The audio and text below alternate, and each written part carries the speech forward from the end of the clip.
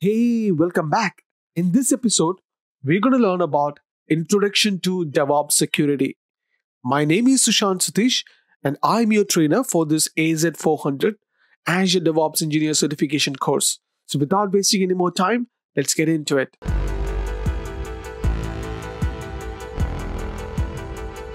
With continuous integration and continuous delivery, how do you ensure your applications are secure and stay secure? And how do you find and fix security issues early in the process? This begins with practices commonly referred as DevSecOps. DevSecOps incorporates the security team and their capabilities into your DevOps practices, making security a responsibility of everyone on the team.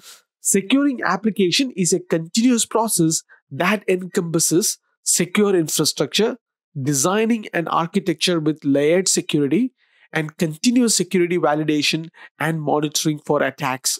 And security is everyone's responsibility and needs to be looked at holistically across the application lifecycle. So let's learn about what is SQL injection attack. SQL injection is a type of an injection attack that makes it possible to execute malicious SQL statements. These statements control a database server behind a web application. Attackers can use SQL injection vulnerabilities to bypass application security measures. They can go around authentication and authorization of a web page or web application and retrieve the content of the entire SQL database. They can also use SQL injection to add, modify, and delete records in the database. An SQL injection vulnerability may affect any website or web application that uses an SQL database such as MySQL, Oracle, SQL Server, or others. Criminals may use it to gain unauthorized access to your sensitive data, customer information, personal data, trade secrets, intellectual property, and more. And SQL injection attacks are one of the oldest most prevalent and most dangerous web application vulnerabilities. Now let's learn about how to implement secure and compliant development process. First, let's look into threat modeling. Threat modeling is a core element of the Microsoft security development lifecycle. It's an engineering technique you can use to help you identify threats, attacks, vulnerabilities, and countermeasures that could affect your application. You can use threat modeling to shape your application's design, meet your company's security objectives, and reduce risk. There are five major threat modeling steps.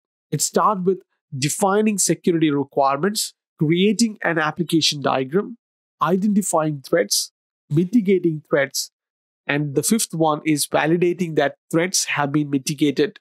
And the threat modeling should be part of your routine development lifecycle, enabling you to progressively refine your threat models and further reduce risk. The Microsoft Threat Modeling tool makes threat modeling easier for all developers through a standard notation of visualizing system components, data flows, and security boundaries. Now let's look into key validation points. Continuous security validation should be added at each step from development through production to help ensure that application is always secure. The goal of this approach is to switch the conversation with the security team from approving each release to approving the CI/CD process and having the ability to monitor and audit the process at any time.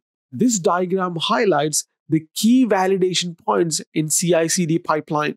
Depending on your platform and where your application is at in its life cycle, you may need to consider implementing the tools gradually, especially if your product is mature and you haven't previously run any security validation against your site or application.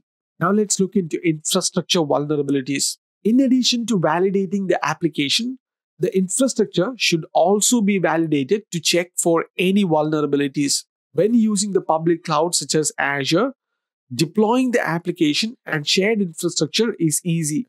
So it's important to validate that everything has been done securely.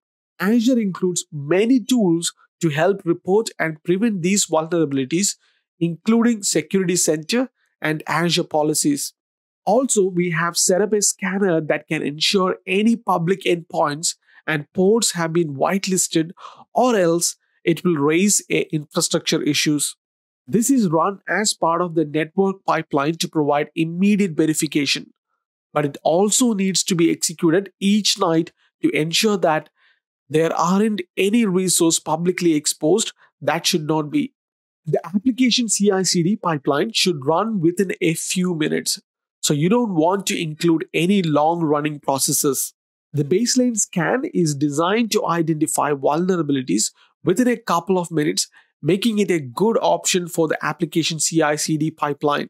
This example outlines the step for both the application CI CD pipeline and the longer running nightly OWASP ZAP pipeline. Once the scans have completed, the Azure pipeline release is updated with a report that includes the results and bugs are created in the team's backlog. Resolved bugs will close if the vulnerability has been fixed and move back into the in progress if the vulnerability still exists. The benefit of using this is that the vulnerabilities are created as bug that provides actionable work that can be tracked and measured. That concludes this lesson. In the next episode, we're going to learn about rethinking application configuration data. I will see you in the next one. Until then, take care.